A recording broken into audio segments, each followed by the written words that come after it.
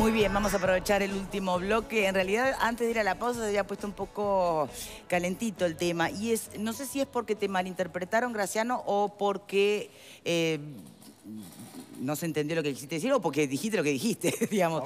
Pero en definitiva, pareció como que las relaciones laborales evidentemente se tienen que regir por derecho laboral. Ahora, cuando hay una golpiza, inevitablemente va a intervenir la justicia y el derecho penal. Lógico que es así. Y entonces... Pero no, lo que dije es que tanto en este caso, donde el doctor López Goldarcena está explicando muy bien que si bien son dos casos separados, claramente él vincula, es la, información que él tiene, él deriva de una eh, cuestión vinculada a la relación laboral, que tenemos que tomarlo como un dato, no lo sabemos, deriva una cuestión penal. Y yo ponía el ejemplo, el otro ejemplo, el de la ley penal eh, de responsabilidad penal empresarial. Yo le decía a Leo fuera de cámara, supongamos que yo, no sé, el propietario de una empresa de transporte, eh, de camiones. Este, tiene un accidente, un camión, en fin, el chofer fallece o tiene lesiones graves. Y supongamos que el día anterior el camión tenía que haber ido a revisar los frenos y por cuestión burocrática no fue. Ese empresario termina preso. No, no es así, pero. Pero, quiero decir, pero, entra, entra, el tema penal en una cuestión que es la amenaza de la pérdida de libertad en un vínculo laboral. Me parece que eso, eso hay que separarlo completamente. me parece que hay que separarlo completamente. Si es un caso de violencia privada, como fue el que aparentemente ocurrió, se trata como un caso de violencia privada y se separa lo laboral. Porque si mezclamos lo laboral con lo penal, terminamos en un enredo espantoso. No, podemos olvidar Terminamos en un enredo espantoso. Es un caso de, de un caso de violencia privada que se tiene que regir por las normas del derecho penal. Y no vincularlo a un tema de derecho laboral, porque si no, se mezclan dos ámbitos en los cuales uno tiene que ver con la libertad y el otro tiene que ver con, yo qué sé, las relaciones económicas, de, fin, de, trabajo, Pero ¿quién mezcla las y no se puede mezclar porque no se puede mezclar, es como el agua y el aceite. Y si lo mezclamos, estamos usando una herramienta que es propia, eh, es la, digamos, el último castigo el que se puede mm. apelar al Estado, lo usamos para un tema de relaciones laborales. A ver, nuestro invitado quiere hablar desde hoy, tan caballero y tan correcto que... Yo, estoy escuchando atentamente, pero a mí me parece que conceptualmente, con el respeto que me merece,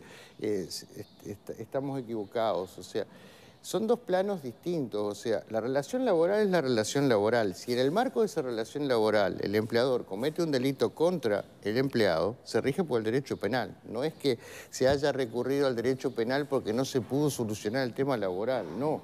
Yo lo que quise ser, creo que lo expliqué claramente, las relaciones sociales, los conflictos están, tan permanentes en, en la vida de relación. No podemos traspasar ese límite de contención y agredir a otra persona porque hay un conflicto. Si se comete un delito hay que castigar. Cuando ese delito se da... Cuando, cuando ese delito se da en un, en un contexto de relación de subordinación, o cuando ese delito se da, por ejemplo, dentro de la familia, en el mismo techo, la violencia doméstica, es un elemento especial que lo tenemos que considerar necesariamente. Lo que usted dice está bien en el sentido y es correcto. El derecho penal es el último de los controles al que apelamos como sociedad. Fíjese si estaremos deteriorados que aún apelando a ese último de los controles los hechos siguen ocurriendo, los delitos siguen ocurriendo. Pero tenemos conceptualmente dividirlo. Y una palabra solo sobre la ley de responsabilidad penal empresarial no se está penalizando un tema de relación laboral, se está penalizando una conducta de peligro frente a una omisión de cumplir con las normas a las cuales está obligado el empleador. Al ámbito laboral. pero vinculado al ámbito laboral, como vinculado a otros ámbitos, si hay incumplimientos y la sociedad dice esos incumplimientos de tal gravedad, fíjese el único caso el único caso que, hasta ahora se está juzgando... el principio del derecho penal democrático. Pero está, eh, la ley está vigente, hay un delito tipificado y hay un solo hecho en el que se está juzgando, que es el caso del, edificio Forum en la Rampa. Claro, y se cae una Cuando fue el de la Intendencia no se, juzgó a la Intendencia. Cuando se cae el empleado de la Intendencia, se cae, ahí no se jugó a la Intendencia. No conozco ni, ni, ni siquiera si la ley estaba vigente en ese entonces. Estaba vigente. A mí me tocó hacer la denuncia y participar concretamente en el caso de Forum. Se cae una linga de hierro, no había elementos de seguridad. Pudo haber matado a cualquier persona.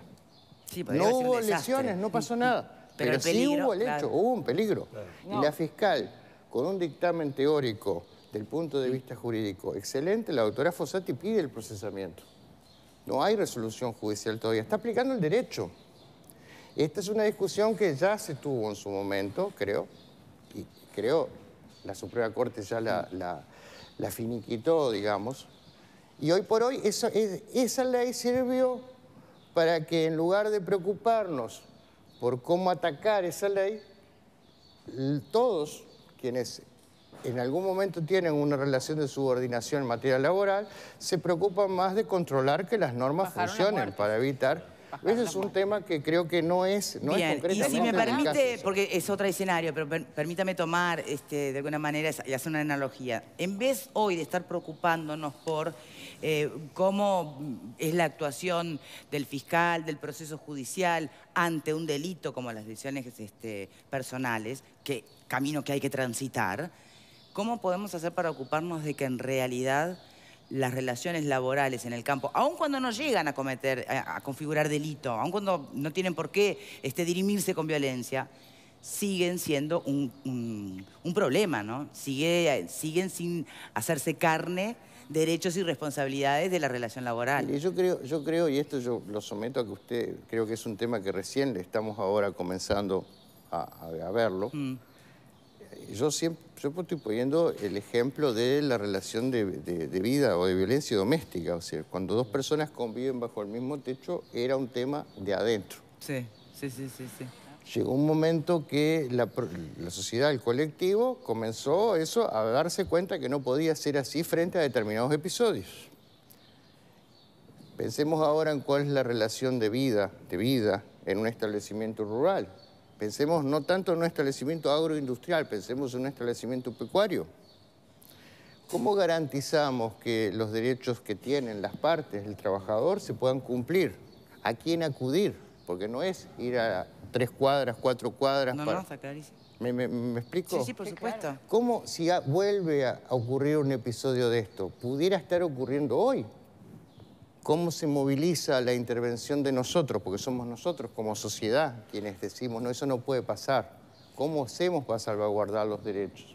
¿De qué manera? No tengo la solución. Ah, estaba esperando la respuesta. Es un tema cultural, pero, pero aquellos, pensé, aquellas eh, todos los organismos involucrados tienen que establecerse política de Estado. En este caso, por ejemplo, la Fiscalía claramente, porque ahora está en el tapete lo que sucedió con el peón rural. Pero yo creo que hay un tema también cultural. Fíjese que lo mismo pasaba con la, con la violencia doméstica. Ustedes recuerden que eh, antes no se denunciaba. Pero, luego comenzó a denunciarse ¿también va a actuar de oficio un fiscal ante lesiones privadas que Puede, a violencia doméstica? Debe actuar de oficio. Puede actuar de oficio. Sí, pero va a ser un problema enorme, mire, mire, mire Porque hay muchas parejas que están en ese vínculo tóxico que a la primera de cambio prefieren perdonar. Uno no puede juzgar esas cosas, ¿no? Sabemos que es parte del problema, pero va a ser un lío. Victoria, el caso de la violencia doméstica es distinto, ah, pero yo lo ponía como ejemplo en este sentido. Fíjense que un vecino, un vecino que escucha una, una pelea, antes no denunciaba ni se metía. Ahora sabe, mm. por todo lo que se ha hecho a nivel incluso de medio de comunicación, sabe de que tiene la obligación de hacer esa denuncia. Porque muchas veces la persona que está siendo agredida no la hace la denuncia. No, es parte del problema, exactamente. Pero traslademos ese ejemplo mismo, esa situación, al medio rural. ¿Cómo hacemos? Porque no, no tienes un vecino para hacer la denuncia. Pero tampoco tienes una oficina donde recurrir. Hay que buscar generar una política de Trabajo tiene este, los recursos suficientes para generar, inspectores y, demás. Hay, que generarlo, hay que generar una política de Estado, involucrar a toda la sociedad. Involucrar, cuando digo involucrar a toda la sociedad, ubico el rol que tiene que cumplir el Sindicato de Trabajadores Rurales, el rol que tiene que cumplir la Fiscalía, el rol del Ministerio de Trabajo, el rol de los municipios. No, no, solo de los gobiernos departamentales, de los municipios el rol de las propias gremiales empresariales, porque es un tema cultural que tiene que ocuparnos a todos. Eh, doctor, yo le agradezco muchísimo que nos haya acompañado en el día de hoy. Vamos a ver cómo sigue los esperanzadores que están, bueno, las instituciones poniéndose en contacto, conversando y tengo entendido que está elaborando un protocolo. La idea es trabajar juntamente con eh, la UNATRA, la Unión de Trabajadores Rurales, junto con la Fiscalía, comenzar a trabajar para generar un protocolo de actuación, como pasó en su momento con otros fenómenos, cuando surgen, cuál va a ser la capacidad de respuesta para darles. Muy bien. Muchísimas gracias por habernos acompañado hoy. Les pido un momentito su atención porque estamos precisando ayuda para Lucas. Lucas O'Neill, a ver si ahí tenemos la, imagen, tiene siete años, tuvo que ser intervenido, tiene una malformación cerebral. Este, está en manos del neurocirujano doctor Crosa. Se sometió a una arteriografía cerebral con un costo de dos mil dólares. Bueno, obvio no hace falta explicar que es caro, ¿no? Muy caro. Por eso se abrió una cuenta, la cuenta Habitat 80557 y se agradece toda colaboración posible. Desde ya, muchas gracias. El hashtag Fuerza Lucas o Todos por Lucas. Muchas gracias a todos. Gracias, doctor. Y a ustedes, como siempre.